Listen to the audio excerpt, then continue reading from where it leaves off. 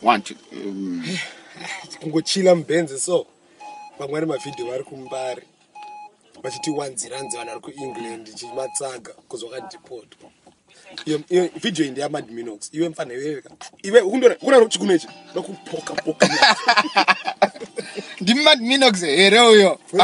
Ayo aida kudhaya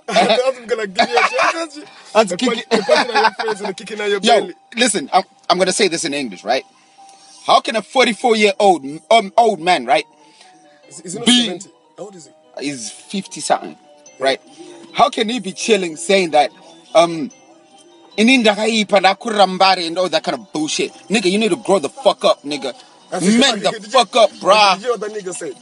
Hansi, if, if you haven't been to Mbari, if you've been to Harare, for sec, you're something that borrowed. Hey, Hands my salad.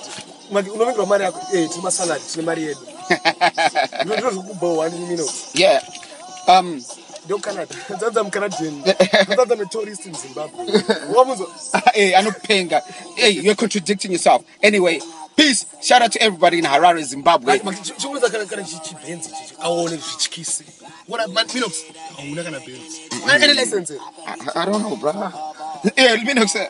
une license dzanzi mwana wangu is a drug dealer ungafari nemwana No, no, no, that's stupid, bro. You need to grow up. Mwana wako unofana kuenda kuchikoro. Ku university apasa akuchengete iwe kana wachembera. Right? iwe iwe minox iwe pachakubata mirawo chamumama All right, shout out to everybody in Harare, Zimbabwe. Shout out to Prince Edward School. Yeah!